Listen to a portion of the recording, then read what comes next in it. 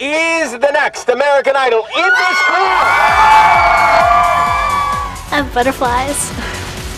but they're good butterflies. I was looking on stage and I was like, man, I see myself on the stage. And I saw my mother in the audience. I want the golden ticket so insanely bad. All this in here, I'm gonna give it to the judges. I'm gonna belt it out and give it to them, and I'm gonna throw it at them. I don't wanna hurt them, I'm gonna give it to them. American Idol Season 11 starts January 19, Thursday, via satellite at 6 p.m. on ETC. I'm ready. Let's go. I wanna do my thing.